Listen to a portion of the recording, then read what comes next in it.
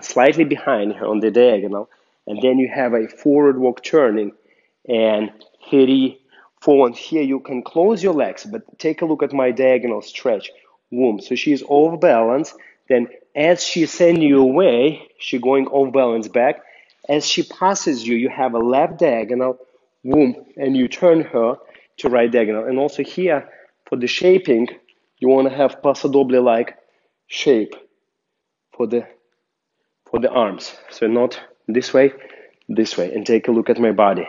So constantly this. Ta, ta, shoo. Send the partner away. Hop.